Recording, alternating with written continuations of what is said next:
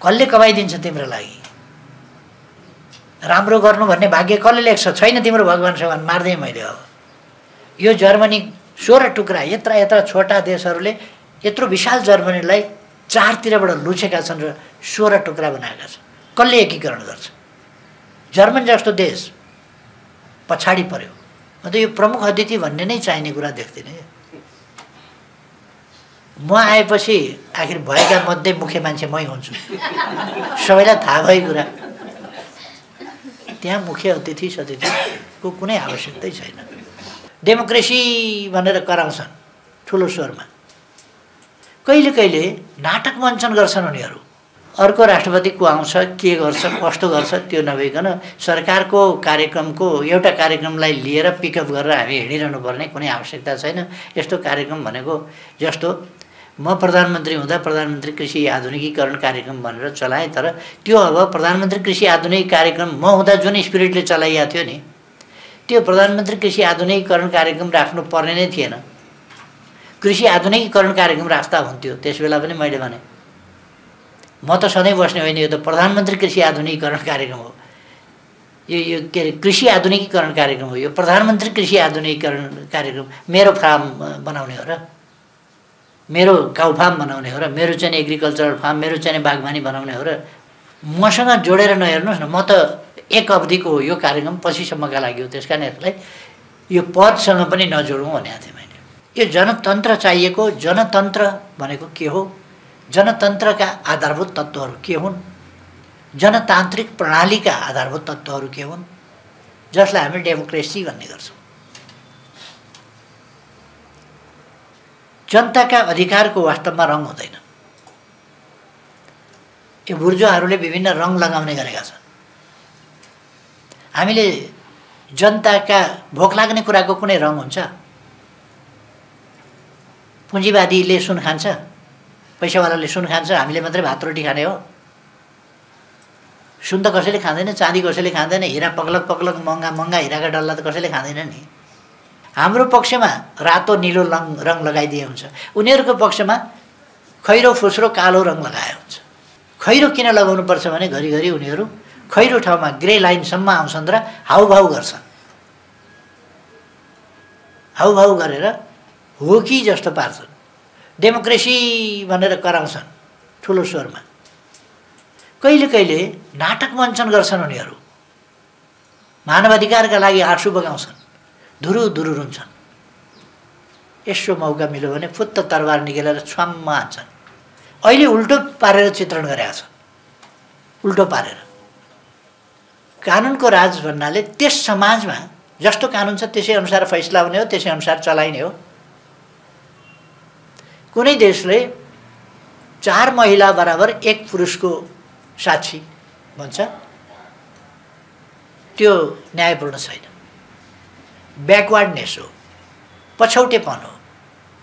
त्यहाँका महिलाहरू त्यसका विरुद्ध आवाज उठाउन सक्ने अवस्थामा पनि छैन। आवाज उठाउन खोज्यो भने तिनीहरूलाई दण्डित गरिन्छ लान्छित गरिन्छ तिरस्कृत गरिन्छ अनेक चिज गरिन्छ। उनीहरू त्यसको प्रतिरोध प्रतिवाद गर्न सक्ने अवस्थामा छैन।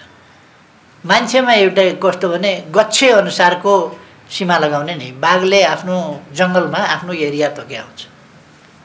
बाघले मात्रै तोक्दो रहेछ। गाउँको एउटा कुकुरले पनि आफ्नो एरिया तोक्दो रहेछ। त्यो एरियाभित्र अर्को ठाउँको कुकुर आयो भने मेरो एरियामा किन आइस? भनेर भुकेर धुमधाम झम्टिएर गर्दो रहेछ।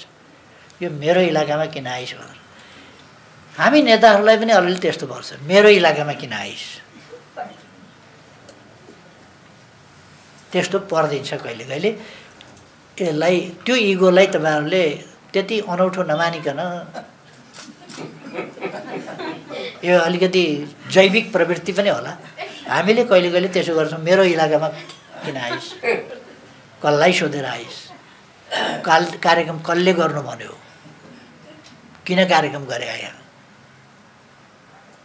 कसले भनेर कार्यक्रम गरे भनेर? यो इलाका मेरो हो यहाँ पार्टी छ कमिटी छ थाहा छ कि छैन भनेर उसले आफ्नो एरियाको धाक लगाउन सक्छ। बाघको पनि एरियाभित्र चाहिँ अरू बाघहरू त्यहाँ गयो भने चाहिँ ठुलै काण्ड हुँदो रहेछ। बाहिर बाहिर त्यति लड्दैन तर उसको एरियामा भएपछि चाहिँ त्यो एरिया उसले समय समयमा सर्वे गरिराखेका हुन्छ कोही पस्छ कि घुसपैठिया छ कि केही छ कि भनेर।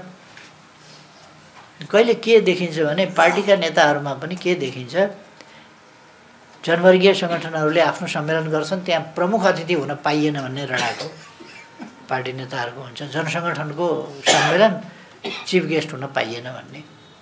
जनसङ्गठनको सम्मेलन छ भने चिफ गेस्ट किन हुनु पऱ्यो तपाईँहरूले मलाई प्रमुख अतिथि त भनेको छैन होला नभन्दा हुन्छ भन्छु। यो प्रमुख अतिथि किन चाहियो? अन्त यो प्रमुख अतिथि भन्ने नै चाहिने कुरा देख्दिनँ। म आएपछि आखिर भएका मध्ये मुख्य मान्छे मै हुन्छु। सबैलाई थाहा भएको कुरा। त्यहाँ मुख्य अतिथि सतिथिको कुनै आवश्यकतै छैन। हामी कस्तो भने कामभन्दा मान भनितो आदि इत्यादिमा श्राद्ध गर्न त सजिलो थियो सिधा पुर्याउन गाह्रो हुने जस्तो। यो सिधा पुर्याउन मुस्किल हुने। श्राद्ध गर्न सजिलो सिधा पुर्याउन गाह्रो। यस्तो खालको धेरै गर्ने। आसन ग्रहण धन्यवाद छ तपाईँहरूलाई। आसन ग्रहण आफ्नो आफ्नो ठाउँमा आफै आफै बस्नुभयो गजब छ। पेम्बाले भन्नु सबै साथीहरूलाई आसन ग्रहण गर्न अनुरोध गर्छु। बस। सिद्धियो नि फलानाजी आसन ग्रहण अब म फलानाजीलाई पनि आफ्नो आसन ग्रहण गर्न अनुरोध गर्छु फलानालाई पनि। बसिसकेको छ मान्छे मैले नै सोधेँ उठ भने कि बस भने भनेर बसिराखेका थिएँ आसन ग्रहण गर्नुहोस् भनेपछि अब के भने के भने अनि मैले उठेर नमस्कार गरेर भने के भनेको? उठ भने कि बस भने भनेर सोधेँ अनि बस भनेको भनेपछि बसेँ फेरि। यो धेरै भारी भरकम खालको नि हो। मान मनितो यस्तो खालको चाहिँ त्यो धेरै जरुरी छैन। धेरै मान मनितो काममा अलिक बढी ध्यान दिउँ। अरू अरू खालका कुराहरूमा बढी ध्यान नदिउँ भन्ने मेरो चाहिँ आग्रह हो। अनि एक दिन नेत्सेले हातमा एउटा कठपुतली बनाएर हातमा बोके। पराल सरालको केहीको यसो बाँधेर कठपुतली बनाए। हातमा बोके कठवासको डन्डी लिएर युनिभर्सिटीबाट निस्किएर देब्रे हातमा कठपुतली दाहिने हातमा कठवासको डन्डी लिएर उनी निस्किए विद्यार्थीहरू छक्क पऱ्यो प्रोफेसरलाई के भयो अफिसबाट निस्किँदाखेरि त एउटा कठपुतली परालको बोकेको छ एउटा डन्डा बोकेको छ। सधैँ पुस्तक लिएर निस्किने प्रोफेसर आज त कठपुतलीले डन्डा बोकेर हिँडेको छ कठवास प्रोफेसर कठवासको डन्डी लिएर कसैसँग नबोलिकन खोइ खोइ खोइ खोइ निस्केर हिँडेको छ। विद्यार्थीले सोचे अलिकति गुरुजी खुस्किए क्या हो भनेर। तैपनि हेर्न त हेरौँ भनेर पछि पछि गए। गुरु गुरु बोलाउँछन् गुरु फर्केर पनि हेर्दैन केही मतलब छैन। सुई सुई गएर चौराहामा पुगेपछि गुरु रोकियो। सब विद्यार्थीहरू वरिपरि घेरा लागे।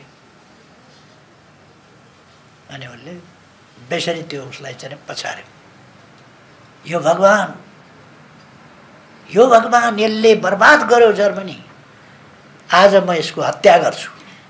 यसलाई मार्छु म भनेर करायो र लखा भगवान् त जर्मन बर्बाद गर्ने जर्मन नागरिकलाई बर्बाद गर्ने। आज तेरो म हत्या गर्छु। आज म तँलाई सिद्ध्याउँछु भनेर समातेर पछार्यो भइमा। यतिले पुग्दैन। तेरो अस्तित्व समाप्त पार्छु। धुलो धुलो पार्छु भनेर डन्डाले ड्याम्का ड्याम हानेर थिल्थिलो बनायो। अनि विद्यार्थीहरू वरिपरि थिए उसका। अरू बजारका मान्छेहरू हेर्न आएका थिए अनि उसले भन्यो मैले आज भगवान् मारेँ। यो नेत्सेको एउटा आई किल द गड भन्ने एउटा सानो वाक्य नै छ। आई किल द गड र त्यो स्टोरी छ एउटा I kill the God I kill the God who destroyed Germany, who destroyed Germans, who divided Germany. So I killed the God today.